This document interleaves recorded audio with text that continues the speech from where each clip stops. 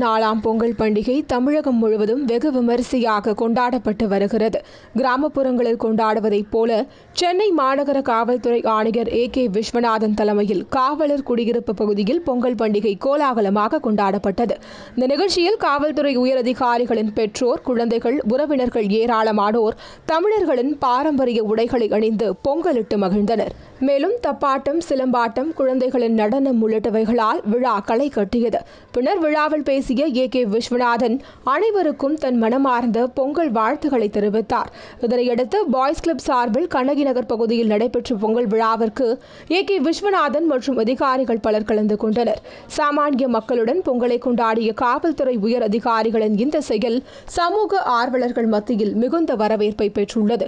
இதனால் பொதுமக்களுக்கும் காவல்துறைக்கும் இடையே இணக்கமான சூழல் உருவாக வாய்ப்புள்ளதாகவும் கூறப்படுகிறது.